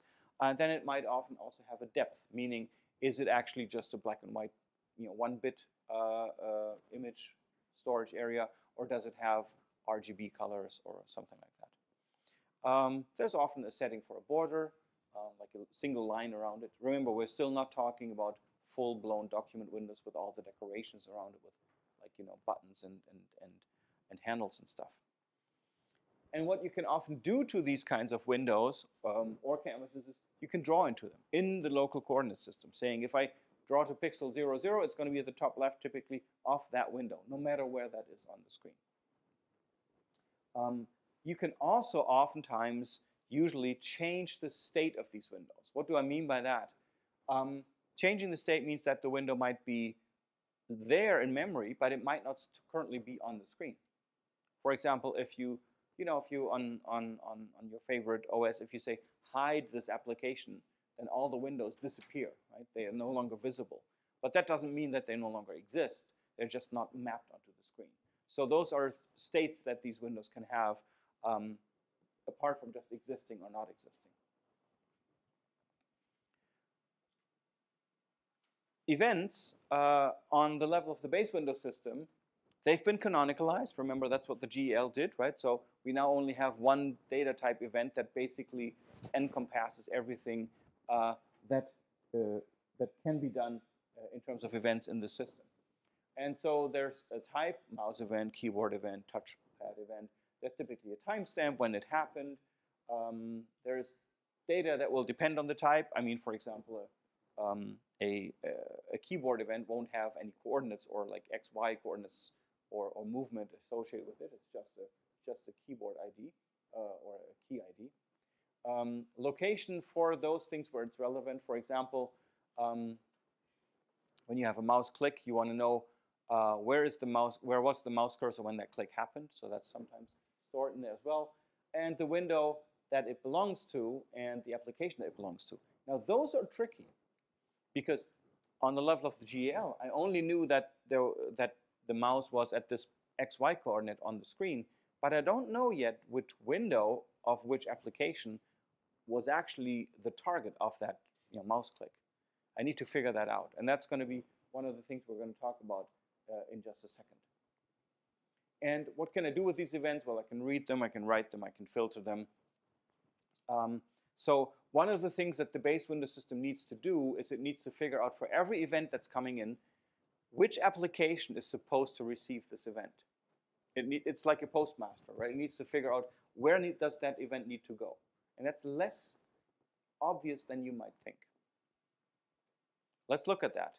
Here's the canonical event queue that we saw before, that the event queues that the um, provides us, right? So we now have three queues for trackpad, mouse, and keyboard. Uh, they're all using uh, a standardized event format that I can uh, mix and match. Now, what do we need to do with these in order for them to make sense? I've got, you know, some events coming in from the mouse, I've got some events coming from the keyboard, some from the trackpad. What do I need to do with these so that I can process them in the way that the user intended them to be processed?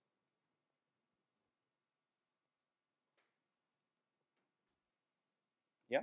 Uh, there must be a timestamp uh, related to the Mm-hmm. and Yeah. we can order it in that way.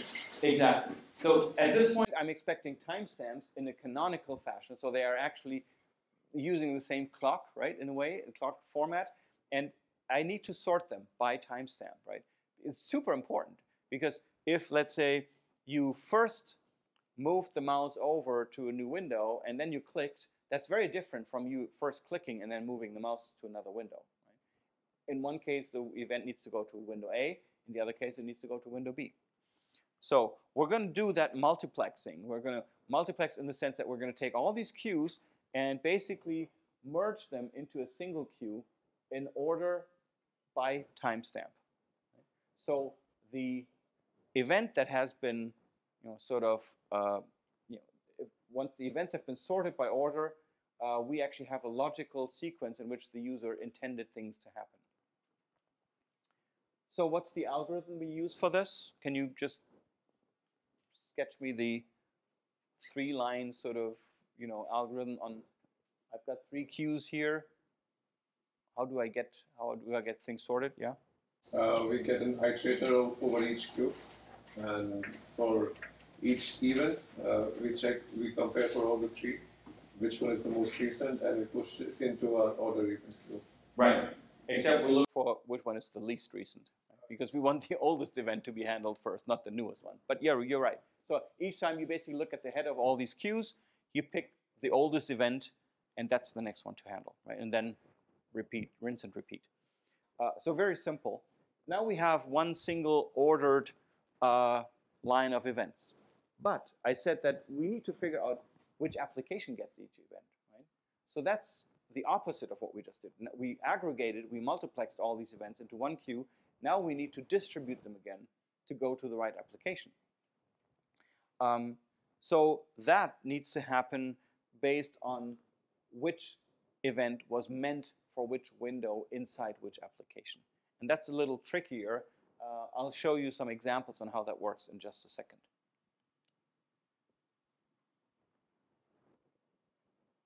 The base window system also has a few tricks up its sleeve to inject its own events. One thing that it can inject is when, for example, the base window system removes one window because it got closed by the application or by the user, you have this uncovering happening, right? They, suddenly you've uncovered a certain area of screen that needs to be redrawn. In that moment, the base window system will actually inject a new event that says, this area needs redrawing, and it will be, you know, coming back to our discussion, it will be just that region that got destroyed of that other window. You know, however this is then handled depends on, you know, is there a data buffered or command buffered drawing model, or is the application responsible for doing that? Can it redraw just that part, or does it need to redraw everything? Uh, all that will depend on how things are being being done, but this is where this event happens. So uh, this is often called like a, a, dirty screen area, right? An area that was formerly okay and is now in need of redraw. It needs restoring. Um, also, uh, back to our discussion, Andy, this, you know, you know, oh, we've got two clicks happening and that should be really a double click. That's also something the base window system can do and basically take that one thing off the queue and put the, the double click onto the queue instead. So uh, now all that's left is to figure out, you know, where things go, which application uh, and which window. Uh, and how that works we'll get to in just a second. But let's look at some of the other objects uh, that the base window system provides first. So it has, again, a graphics context. Um, now you may have wondered if the GEL has this one palette and calls to the GL will set it to say, do all your drawing with you know, a black pen in this width, right? And then it, you get drawing commands. What if another application starts drawing? Because, I mean, we have lots of applications that will be requesting drawing commands from the GEL. So here I am drawing something with a black pen and, you know, two pixels width. And then another app is currently drawing something else, somewhere else on the screen, in red color in three pixels width. How does that work? How does the GL keep its palette straight? Well, the GL only has one palette. So the way that this works is that the base window system, this next level up, actually provides separate palettes for each application.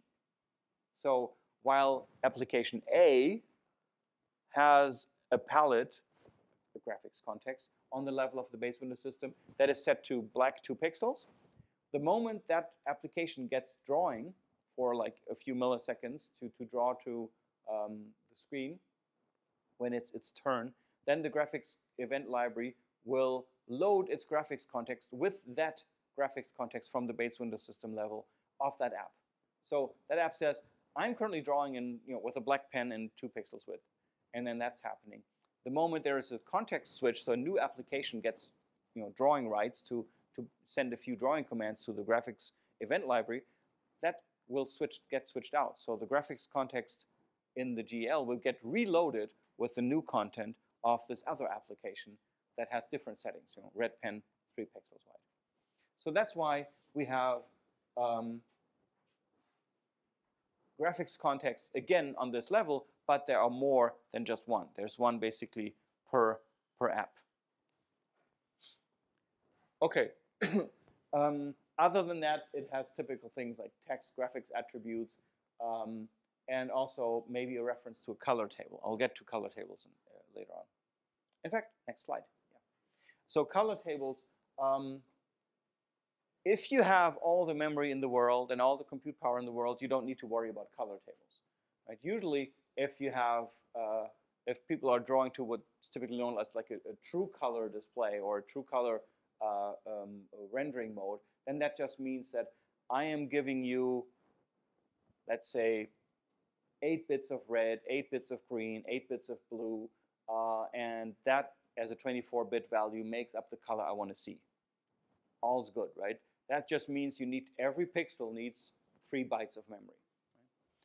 Many systems don't dedicate that much memory to the display memory because of performance reasons, because of memory reasons, whatever. Um, because, you know, with higher and higher pixel resolutions, that starts to add up, right, that memory for each pixel. Uh, so when you want to reduce the amount of uh, memory you need to store your color imagery on, on your display, but you still want to be able to use colors, then there's a couple of tricks. One trick is using um, color tables. So a color table is basically just a list that says, you know, from I've got 20, 256 entries, let's say, right, 256 entries, and each entry in the color table basically says has three bytes, an R, G, and B value. So color 0 might be black. Color 1 might be you know, a dark violet. Color three might be, you know, a red, whatever. Uh, so you've got lots of room in there. You've got 256 colors that you can pick and choose any way you want as an application. And then what happens is basically when you draw, you just say, this pixel, color 17. This pixel, color 212. This pixel, color 108. So I only need to store one byte per pixel. And when the display needs to decide what color to actually show, it looks into the color table. So I can still paint images with lots of different colors. I can get any color I want. I just can't get many, many, many different colors at the same time in the same window, for example. So that's the advantage of using color tables, and you'll see them quite, quite frequently. Um, so that they basically provide you a way to say, you know, provide the system a way to save memory, and also um, performance-wise, this can be an improvement because it's also quicker to copy, for example, an image from one area to the other if every pixel is just one byte instead of three. Uh, there's a couple of things that color tables can also do. For example, if you ask for a color um, that doesn't exist in the color table, it might have an algorithm to give you the closest match from its current 256 different colors.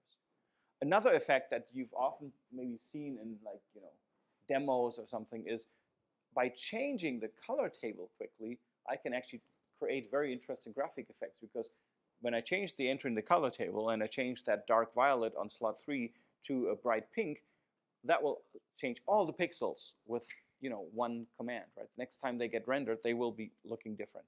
So uh, that's an interesting way to create you know uh, global effects on an image. It can also provide a default color if I try to draw with something that I don't tell the system what to use. It'll pick you know black or white as a as a default. Fonts, similar thing. So fonts have an owner and have users. Now fonts are interesting because typically fonts are a read-only resource. Like why would you want to change uh, a font data structure? You typically don't, right? It's something you just read from. So that's ma that makes it a prime candidate for sharing. There's no need to have 15 copies of Helvetica running in your system when every copy is essentially the same font data. Uh, that's why it's often shared among users and, and only one, you know, the application that first needs it will be the owner and everybody else basically just gets a pointer. Yeah, we already have a Helvetica font here in this memory area. Please use this. Uh, what's inside a font? Well, the size, the kerning. Uh, as you know, the font size um, is something that you don't need to store if you have a scalable font, right? Um, but kerning is interesting. Kerning means uh, how far letters are being know, are supposed to be spaced apart. Ligatures are these weird two character combinations that you sometimes have in fonts to make them look better. Um, and basically each character, of course, has its own data field describing that character. So uh, increasingly these days, um, these fonts are managed by lower levels like the graphics event library or, or even lower layers uh, but they are managed uh, here. So for example, if you look at the NSString uh, data type in macOS, uh, the NSString class in macOS, it will have all these things uh, that you can set. When you render a string, you can set all these parameters in order to put out some readable text. Now, I said the base window system needs to figure out where an event goes, right? Um, it also needs to hold on to all these windows that are inside the um, uh, that are inside the, uh, the various current apps that are running. How does it do that? It uses a data structure usually that is kind of like a tree. Um, and what does the tree relationship mean in this case? Well, um, if a window is a child of another window, that basically means that that window is fully geometrically contained inside that parent window. But this doesn't mean, th this would not be the case if the two windows are parts of completely separate apps. Uh, what I mean by this is you might have a case where you are uh, drawing a, a, a, a, document window, for example, you know, with maybe here you have a toolbar up here, and then you have a main area where you're text goes, let's say like a text editing application. So this area up here, the toolbar, would be a rectangular area like a base window system window. This area down here, where your text goes when somebody's typing, would also be a rectangular base window system window. Both of them are contained in a parent, and they're arranged one beneath the other in some way. So there is an invisible, one that the user cannot see, but it has to exist anyway, um, object that contains these two. And so both the text, uh, sorry, the toolbar and the main text uh, window here are contained spatially inside this larger container. Right? So they would be children of that base uh, of that larger base window system window. So on this level, what we mean is a child is when uh, when a child window is beneath a parent window, that means that that child window is also fully geometrically contained. That means you cannot have um, a, a toolbar that extends outside the window, right? That's not possible because that would uh, mess with this containment hierarchy.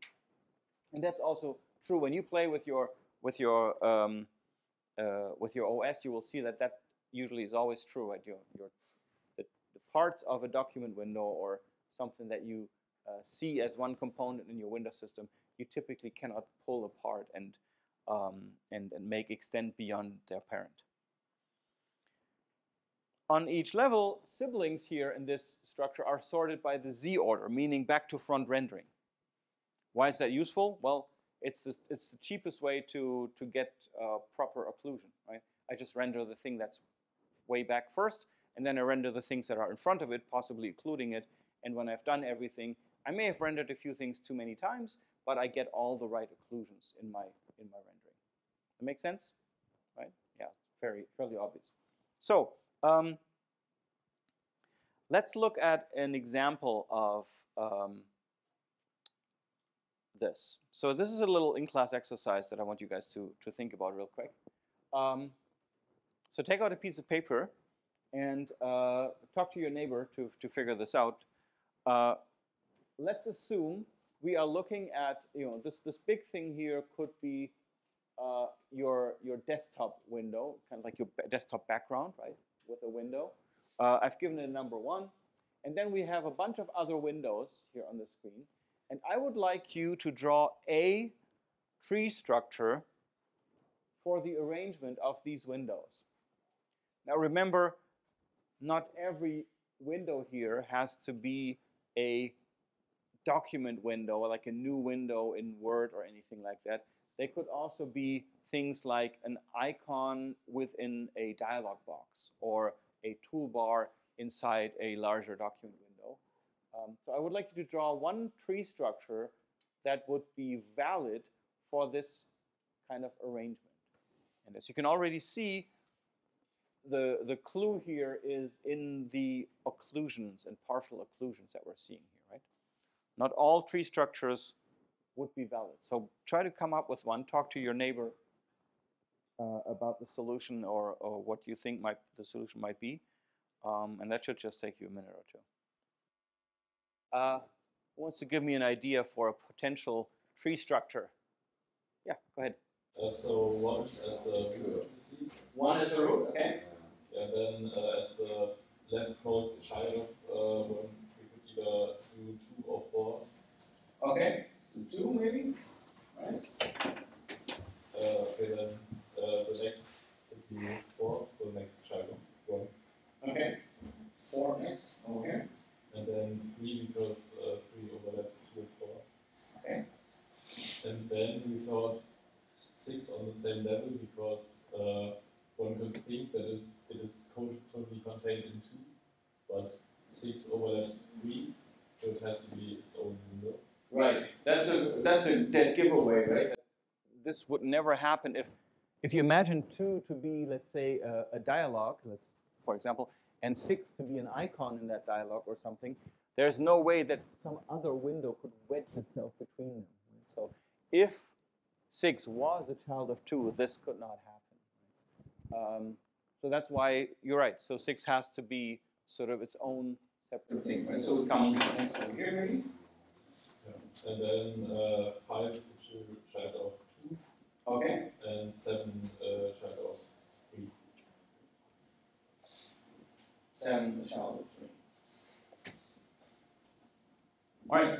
Uh, any al- any alternatives or anything wrong with this one?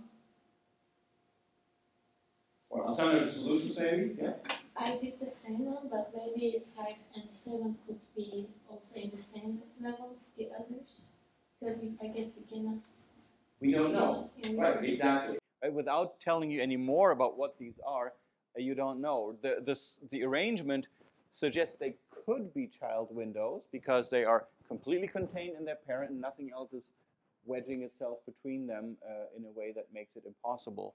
So they could be a, they could be, five could be a child of two, two could be a dialog box, five could be the icon in the dialog box, like the warning label or something like that. But we don't know. It could also be its own separate thing. That's right. Um, in fact, if you push that to an extreme, uh, you could say all of these are, you know, individual children of one. Right? It's possible. We don't really know. And even even one is only the parent of everybody else because I was saying like it's the desktop uh, background that is definitely the the um, the anchor for everything else. Okay, so there are lots of different solutions. Uh, you're right with the one that you gave. Um, that is one, but you know this is another one that could also be be possible. Right? We don't we don't know. Uh, and uh, yeah, also good job with the ordering. We said like if we have sibling windows, uh, we try to order them so that the uh, the Z order for drawing purposes is you know back to front. And again, um, that's why we arranged certain things um, the way we did here. Um, okay, so um, if we take an, if we take this example, uh, we can actually think about how it identifying a click target works, right? So let's say let's say there's a click event fired uh, while the mouse is on top of this Windows 7 here somewhere, right? How does the event actually find out which target window it should go to, like which window it was meant for? Well, it would start entering the tree at node 1. Let's take this one here, the, the more sort of uh, natural one or, or less degraded one. And then it would basically ask each child uh, whether the event is inside it. Right? Each of the direct children will say, like, you know, is the event inside you? Uh, is the event inside you? Is the event inside you? Etc. And the first uh, you know, answers you're going to get back is, since seven is slightly outside two here, let's say the event maybe happened down here, but it would still be fully included in three, right? So window three would say, yep, it's definitely inside my window. Um, if you then get that answer, then the children of that window, like seven, uh, would be asked, is the event also inside you? And then window seven says, yes, it is. And since seven doesn't have any more children, uh, according to this tree, that means that the event happened uh, on top of window seven. Yeah. Uh, so in the window, in the base window management, how actually are the are the window like the parent and the child tracked? Are they with the relative pixel positions, or how is it done? Like if, when you are traversing from top to down, Yeah. there must be a criteria where we say like if we go left or if we go right. You mean in the in the tree structure? Yeah. Uh, well, so the the siblings are, are sorted in, in Z order, right? So so back to front if if they are uh, if there is a meaningful ordering of back to front. If they are just next to each other, it doesn't matter, right? But if there's an overlap, you know that you need to sort things back to front. Um, and once you are because of the the contained relation, because we know that if something is a child of something else, we know that it is fully geometrically contained in the parent, then we know that once we figured out that the click happened somewhere in that parent, the child is always in front of the parent, obviously, right? You won't have a child behind his parent. Doesn't make sense. So then we can further, you know, drill down and figure out whether the child was hit or whether it was outside the child but inside the parent, in which case it was meant for the parent. And so by doing this, you basically find the, the, the most specific, so to say, uh, window that could have been meant by that click. Because we might click into uh, a button that is inside a dialog box uh, that is in front of a document window? And so we need to figure out, oh, okay, so that click was actually meant for the button, not for the dialog box or for the document. And that's what we're doing by making this kind of um, up and down uh, walk through the through the tree. So uh, the base window system uh, also has a couple of resources that it can share um, because they're scarce or you want to collaborate on them. Uh, but if you do that, then you of course end up with a problem, right? Uh, which is consistency. Let's take the example of the, the, the menu bar or the taskbar. Um, if everybody could just draw into that thing at will, then you would get chaos, right? For example, if icons are supposed to line themselves up in the taskbar next to each other, everybody wants to be at you know the, the, the, the leftmost position, it doesn't work. Right? So there needs to be some kind of management of these resources. Um, and especially if two things were trying to draw to that at the same time, you might end up with a clash and the data structure might get corrupted. So typically, there is a, uh, a way that this is done, and that's by having the data structure have a list of users, so not just one user, but multiple users. And the, uh, there are operations to check the list for what, whether that's empty or what users are in there, to add users, to remove users from an object, and to delocate, deallocate it uh, when it's empty, when the last user lets go of it, or if the owner, a special user, actually requests to let go of that uh, resource. And um, in order to avoid clashes, like you know, um, corruption of data by having uh, application requests overlap each other uh, in concurrency, you basically have an internal synchronization. Right? So internally, this thing will take one event after uh, one one request after the other, um, not events, and uh, manage the kind of you know uh, synchronicity of these events. And you've probably heard about techniques to do that in, in operating system classes. What kind of uh, techniques are you aware of to to manage concurrent access to, to a resource. Yeah? Yeah, mutex, yeah, mutual exclusive ones. Um, semaphores, uh, you've probably heard about those, or uh, monitors, maybe you've heard about those, message queues. So there's a variety of different ways to do this just to make sure that uh, these shared resources are not uh, being destroyed, right? So that kind of synchronization is uh, either done on the whole base window system or on the individual resources and objects. Right? So the easy way, of course, to make a base window system um, work, uh, how should I say this, uh, uh, reliably with requests coming from many different applications is to make the entry into the base window system a synchronization point. Uh, what that means is, let's say you've got a bunch of different programs running, um, and uh, one application you know, gets its turn on the multiplexing that the, uh, that the operating system provides, and it says, I would like to draw a circle. So if the window system is done in a, I'd say, fairly naive way, uh, it can synchronize simply at that entry point. It could say, oh, I got a request to draw a circle. And guess what? The X window system, for example, fairly old system from the 80s, worked exactly in that way. So it gets the request to draw a circle. And now the X window system the, is going to go off, the base window system is going to go off and draw that circle. And it's not going to do anything else until it has finished that circle. And um, you know, you could fairly easily crash a, uh, an X Windows uh, system setup by just asking it to draw a really, really, really big circle. Because right? it would take a long time to do that back in the days. And nothing else would be going on while that, that's happening, right? So while that circle is getting drawn, uh, no other requests into the base window system are possible because it's actually doing its thing. It's drawing the circle, and only once it's done with drawing the circle, it would come back and pick up the next um, incoming request. Kind of like, you know, our simplistic application structure when we were listening for one keyboard press or something and then handled it and then only then get got back to listening to the next one, remember? Um, when we talked about this last week. So that's not a great way of doing things, right? So synchronizing at the base window system entrance, uh, but it's a very safe way and it's a very easy way to implement. If you want to be a little fancier, you could say, well, um, I'm not going to do that. I'm just going to get the next request, and I'm going to start executing it again in the thread uh, so that it happens in parallel, and I'm going to go back handling more requests. That will feel much nicer for the user because drawing that big circle is not going to stop me from you know clicking on other windows or or doing stuff in the in the system. But of course, if you do that, then you have to make sure that if two requests end up accessing the same resource, trying to maybe draw in the same region of the screen or something like that, that you actually resolve the conflict, right? so that you have some kind of rule who wins basically with access to that resource.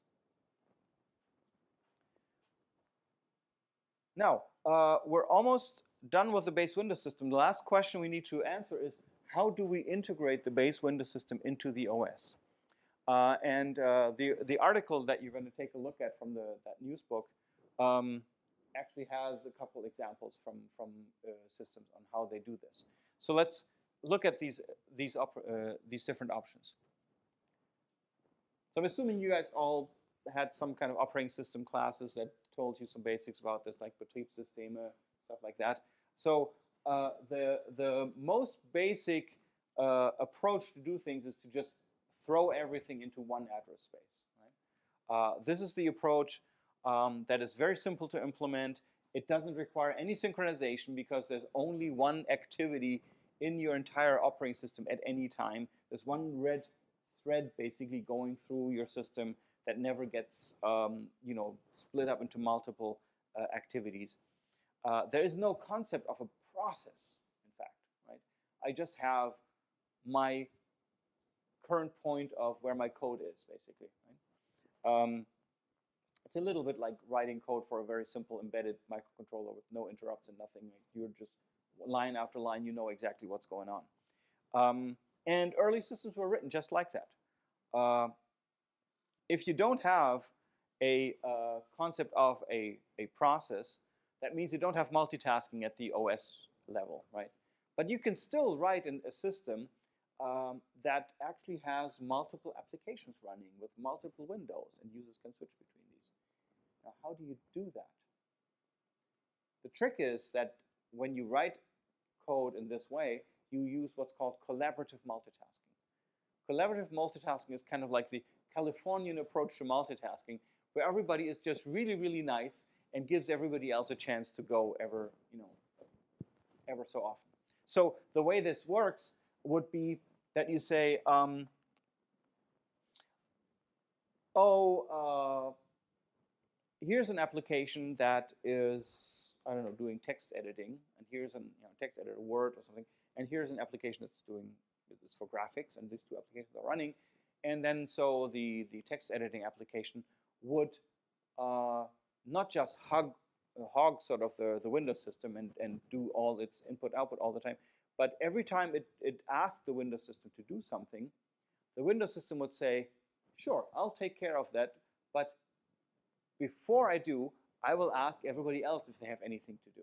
So every time any application asks the window system to do something, it basically also gives other applications a chance because when you ask the window system to do something, so you're calling a routine from the uh, operating system, from the base window system, calling an making an API call, that's when you sort of let go of your control, right? It's not no longer your code. It's the code of the window system. And the window system code will then include a secret sort of trapdoor to allow everybody else to have a go. Um, and only then it would return to you. And since that's true for everybody, it means that um, you know you basically have everybody collaborating nicely. Now the way to break that as an application is of course to just not have any calls into the base uh, window system for a while. Right? If you were caught in a tight compute loop because you're figuring out all the Fibonacci numbers up to 5 million because, I don't know, your computer science assignment asked you to or something, and you're not making any calls into the window system, into, the, into these APIs, then you're not giving up the processor, and that could actually then lock up everything, right? So the window system would not be able to share, uh, you know, compute time with other Uh, applications running because you're not giving it a chance to do so. But anyway, that's typically how this is done. And most applications couldn't actually do what I just said. They couldn't compute a 100 million Fibonacci numbers because that would break their own responsiveness. Right? If you do that without asking for new events coming in, whether the user clicked anything or whether any keys were pressed, if you don't do any of that, then your application is unresponsive to user input. And since that's bad style, all the applications would typically have a very tight loop in which they are asking for user input, which is in fact a call into the window system, which means the window system gets a chance to, you know, make a round robin fashion, um, you know, collaborative multitasking.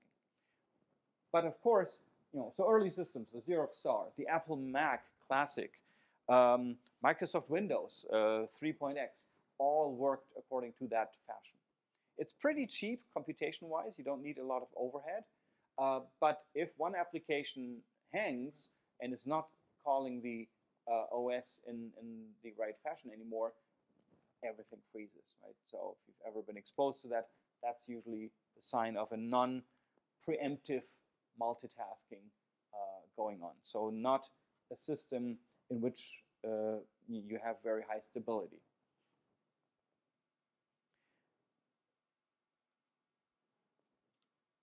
Next approach is to have a, an operating system kernel uh, where you put the hardware, graphics event library, base window system, and then have these things sit in the user address space.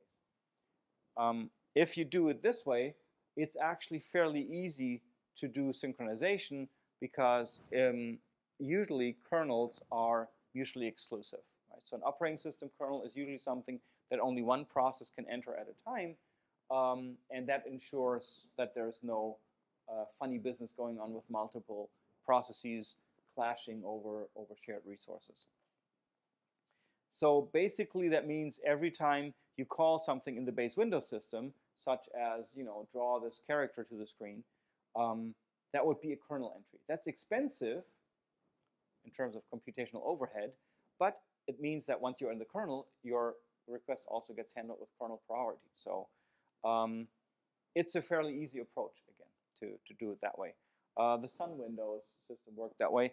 Um, and uh, another one from sort of you know the, the beginnings of window systems. And uh, if you need to communicate here, you do this via shared memory um, uh, uh resources. So basically, you know, there would be memory shared, uh, and in order to make sure that both don't access it writing at the same time, you have the synchronization over the kernel. Another way to do this is to uh, move more parts of the window system into the user address space. Here we have everything down to the graphics event library in the user address space. A, a, a, very simple way to express that is if you're running Linux, you can kill these processes, right? You can end them. They are being launched after the operating system has booted up, and they are in an address space that you have access to that you can control as an uh, as an as a user of the system. Uh, this is a model where you lose the priority of, you know, and privileges of being in the kernel. Um, so even the base window system is just a, a, a, user level server, so to say, for, for uh, client apps which are then uh, using it. Um, but it means that you then actually have um, a structure which makes things very easy to exchange. X Windows works like this. So in X, you launch you know, your, your Unix underlying Unix, and then at some point, you know, a user level process starts that is the X server, and that's the server you can you can terminate, you can close it, and it will end the window system, but that won't mean that your underlying operating system is being shut down. Um, this is an approach uh, that requires you then to write your um, write your base window system so that it runs as sort of a user level server process and then again, you have to deal with concurrent access, right? So how do you make it so that when you have five applications wanting to do something on the base window system, they don't clash over the resources. But you know, the concepts that we just already talked about uh, with mutual exclusive locks and, and monitors and, and, semaphores and so on help you do that. So we can wrap up with this. Uh, we can see that the base window system uh, has a bunch of different things that it does. On a, on a very basic level, it has objects like events and canvases, um, similarly to the GEL, but on a higher level of abstraction. Right? So the canvas of the base window system is the pixel um, buffer of the graphics library, and events also are now um, uh, unified uh, as opposed to the ones that the event library had to deal with. Um, the elementary operations that happen on here is allocating memory for these kinds of objects that are there, uh, queuing and dequeuing events. Uh, on a higher level of abstraction, you could say that um, the uh, base window system is doing a multiplexing and demultiplexing um, on these uh, on these events, um, and is then addressing them to go to the right uh, window that is supposed to receive the event. And on the output side, it manages access to the possibly shared resources, uh, you know, allows you to request certain resources like I need um, a piece of a window, you know, a rectangular area of screen to draw into somewhere. Um, and uh, it uh, manages things like synchronization via mutual exclusion of these resources. All right, so uh, that's covered the two um, bottom parts of the Window System reference architecture model. And uh, we're going to take a look at Window Manager and UITK next week. Um, what do you need to do next? So very simply, the first project sheet uh, is going up this afternoon. Um, and uh, there will be more details about what to do with that in the upcoming lab. But you have lots of time to complete it. Uh, the way we are structuring it this semester is uh, we're going to start posting the sheet right after class so that if you're all energized and you know buzzed by, I need to do more DIS2 stuff, you can go right to the exam you know, to the assignment sheet and start working on it. Well, everything from the class is fresh in your mind. Uh, but should you not feel that inclined, you have some time, right? So you can, uh, when the when the lab run comes around on Monday, uh, we're not going to discuss this Wednesday's sheet, but uh, there's going to be a one week uh, delay with that, right? So on Monday, uh, there's going to be more details about the lab uh, assignment um, or the project sheet assignment that we're giving out, uh, and you can start, you know, really getting uh, into it then. But that's when you really should start, because then by Wednesday, of course, the next topic is going to roll around here in the lecture, and we're going to pre-release, so to say, the next part of the assignment for you to take an early look at. So make use of that. And the minimum that you should do is probably take a look at the assignment so that you know what you're expected to do, and then you will walk into Monday's lab with a little bit of an idea of what to do, right? Um, and then uh, the time when this first project milestone is due is only the Monday after that. So you've got a whole week, even after the lab, you've got another whole week to work on it uh, and have it ready. Um, remember that the, uh, this project, these next couple weeks, this is actually counting towards your final grade, right? So you kind of should be doing those assignments. It's this Window System Reference Architecture building, this coding that we do in these first couple weeks. Um, you'll have 12 days to work on each of these uh, steps in total with a little bit of overlap. So if you're an early worker, you can you know do that. If you're a late worker, you can do that too. Uh, we're giving you a bit of a uh, you know, wiggle room there in, in, in both directions. Um, the uh, milestone is due on, on Monday, April 4th, 24th then, and that means that in that lab then we will be discussing uh, the solution to this first project milestone, right? So uh, by then, uh, that's when the cat's out of the bag, and so um, you, know, you should definitely make sure that you have things done by then in order for them to, uh, for us to be able to grade them and, and have your submission there. All right, that's all I have for today. Um, I hope uh, you got an idea of how window systems are structured on the lower levels. See you again for the next class, going up the abstraction level, and enjoy the rest of your day. Thank you.